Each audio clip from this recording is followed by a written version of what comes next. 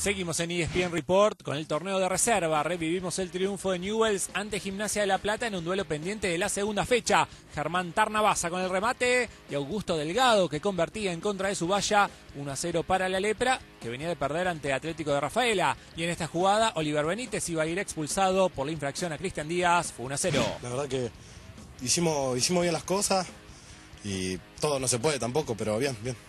Lo personal, contento, hoy fue tu primer partido en reserva. Sí, la verdad que fue mi primer partido en reserva y terminar con el arco cero, la verdad que muy satisfactorio para mí.